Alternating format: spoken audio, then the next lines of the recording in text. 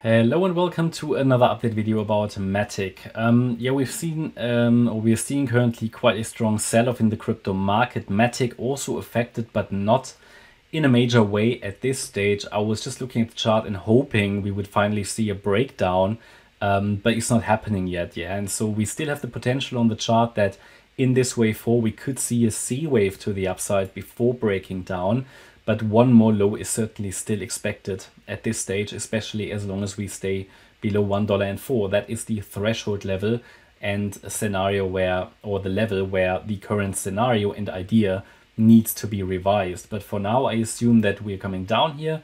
A third wave low was printed um, here on the 12th of May. That this is just corrective, which it, it clearly is, like here, yeah. Um, and that of course we can go a little higher and that would actually be ideal because the standard retracement or standard resistance for such a wave 4 is typically between the 23.6 retracement and the 50% retracement.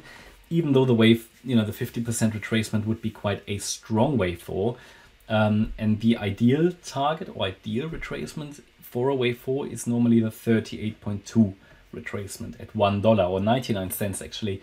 So um, yeah, as long as we stay below that range, or at least as long as we don't break above $1.04, one more low in a fifth wave here, down here is still expected, where we, and we would expect support already in this region between 68 cents and 76 cents. Yeah? And then we need to take it from there. It can even go lower. So my message here has been that we really need to see an impulse to the upside and a three-wave pullback to confirm that Matic is bottomed. At present, we haven't seen that. We just see corrective sideways movement. And the idea would be, because of that, to see a move to the downside. Now, this is starting to get quite long for a classical bear flag, but it still is corrective. But I wouldn't rule out that higher C wave before we come down. Um, but yeah, it's it's just moving in the channel. So we need to wait for a breakout here. Um, what I'm saying is that this is getting quite long for, for a so-called bear flag. So I've often seen when they get so long, that they do a bit of a rally to the upside before we come down. But again, you know, um, the higher level scenario certainly um, is is more relevant than the shorter time frame where yeah, surely we could go a little higher, but overall one more low is still expected, and that situation here hasn't changed. Um, I'm count the move up as an A wave here in a nice three wave structure.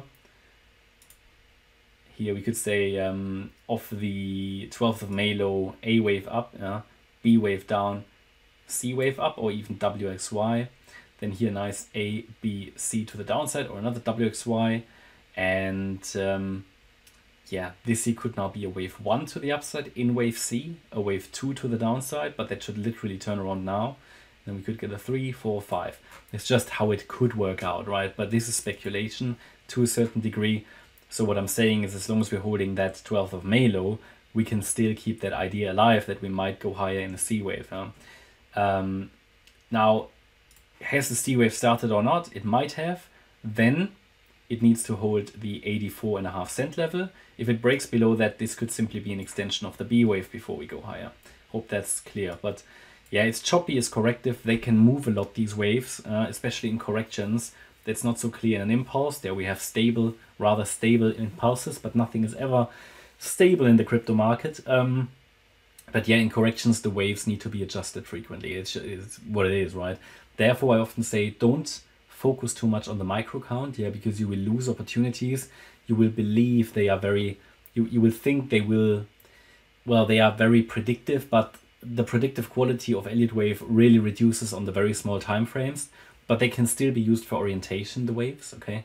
Um, so I normally go into that much detail, but I think this is sort of what we can go with, ABC. Let's see if we can push a little higher, but Bitcoin doesn't make the impression at the moment as if it wants to stop already its downtrend, so we might, you know, we might hit down straight away. Just keep an eye on these relevant levels. I hope you liked the update. If you did, please hit the like button, leave a comment and subscribe. And if you really like the content, then please check out the channel membership and also make sure that you follow us on Instagram and Twitter. You can find the links for those in the video description. We've got additional content there. We update it every day. You know, there's some signals, there's some stuff about mindset, trading, and so on. Okay, that's my update. Thank you very much. Bye bye.